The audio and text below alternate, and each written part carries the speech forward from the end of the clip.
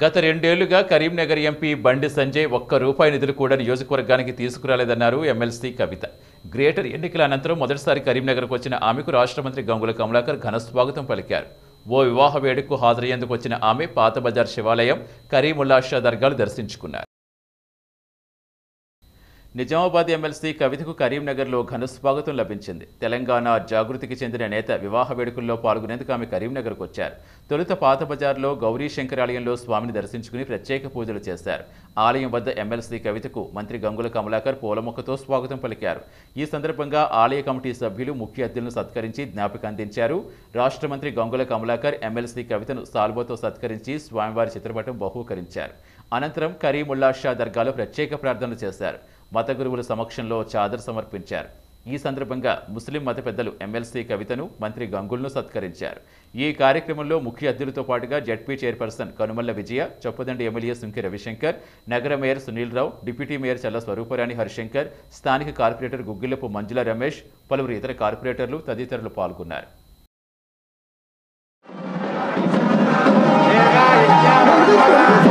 ధాన్యం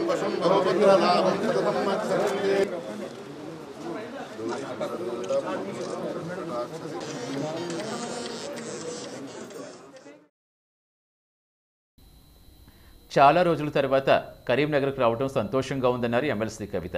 అతి పురాతనమైన గౌరీ శంకరాలయంలో పూజలు చేయడం అదృష్టంగా భావిస్తున్నామని చెప్పారు. టీఆర్ఎస్ గెలుపు ధ్యేయంగా కరీంనగర్ నాయకులు కార్యకర్తలు తరలివచ్చి గ్రేటర్ ఎన్నికల్లో ప్రచారం చేశారన్నారు. టీఆర్ఎస్ కార్యకర్తల స్వేదం వృధా కాదని భారీ మెజార్టీతో గెలుస్తామని చెప్పారు. గ్రేటర్ ఎన్నికల్లో బీజేపీ నాయకులు అబద్ధ ప్రచారాలకు తెగబడ్డారని కరీంనగర్ ప్రజలు బండి సంజయ్ని ప్రశ్నించే సమయం ఆసన్నమవుతుందన్నారు. ట్రిపుల్ ఐటీ తీసుకురావడంలో బండి సంజయ్ విఫలమయ్యారంటూ విమర్శించారు.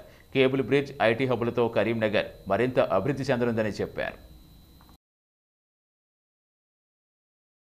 రోజుల తర్వాత కరీంనగర్ పట్టణానికి రావడం ఈ కార్తీక మాసంలో అతి పురాతనమైనటువంటి గౌరీ శంకరాలయంలో పూజలు చేసుకోవడం అన్నది నా అదృష్టంగా నేను భావిస్తూ ఉన్నాను. అదేవిధంగా చిన్న ప్రైవేట్ కార్యక్రమం కోసమని ఇక్కడికి రావడం జరిగింది. మరి నిన్నగాక మొన్న జిహెచ్ఎంసీ ఎన్నికలు పూర్తి చేసుకొని మా శ్రేణులందరూ కూడా కరీంనగర్ నుంచి కూడా అనేక మంది కార్యకర్తలు తరలివచ్చి అన్న గంగుల కమలాకర్ గారి ఆధ్వర్యంలో అట్లనే చొప్పదండి ఎమ్మెల్యే గారు అన్న రవిశంకర్ అన్న గారి ఆధ్వర్యంలో ఇక్కడ రవీందర్ సింగ్ అన్న గారు మరియు అందరి ఆధ్వర్యంలో కూడా పెద్ద ఎత్తున హైదరాబాద్లో పనిచేసి రావడం జరిగింది.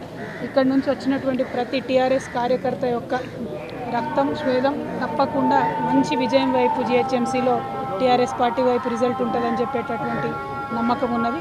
మరి ఇక్కడి నుంచి ఎంపీగా ఉన్నటువంటి బండి సంజయ్ గారు గత రెండు సంవత్సరాల్లో ఆయన ఎంపీగా ఉన్న రెండు సంవత్సరాల్లో కేంద్రం నుండి ఒక్క పైసా కూడా నిధులు తీసుకురాకుండా హైదరాబాద్ ఎన్నికలలో అనేకమైనటువంటి అబద్ధాలు అల్లి టీఆర్ఎస్ పార్టీ గురించి కానీ తెలంగాణ రాష్ట్రాన్ని కానీ అవహేళన చేసే విధంగా మాట్లాడినారు తప్పితే ఏ ఒక్క నిజం చెప్పకుండా ప్రజలకు చేసిందేంటి చేయబోయేదేంటి అనే అంశాల గురించి మాట్లాడకపోవడం బాధాకరమైనటువంటి విషయం.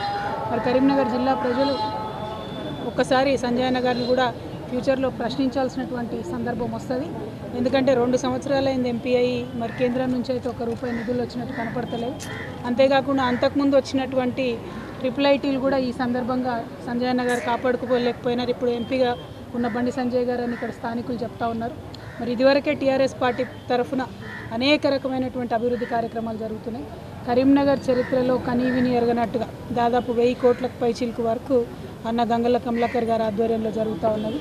అదేవిధంగా రా- వస్తూ ఉంటే చూసినాం కేబుల్ బ్రిడ్జ్ కావచ్చు కనపడుతున్న డెవలప్మెంట్ ఐటీ హబ్ కావచ్చు ఐటీ హబ్ ఫేజ్ టూ కూడా రాబోతూ ఉంది. అత్యధికంగా దాదాపు పదకొండు పన్నెండు మంది సంస్థలతో ఆల్రెడీ అగ్రిమెంట్ కూడా జరిగిపోయినట్టుగా చెప్తా ఉన్నారు. మరి ఇటువంటి డెవలప్మెంట్ టీఆర్ఎస్ పార్టీ చేస్తున్నది?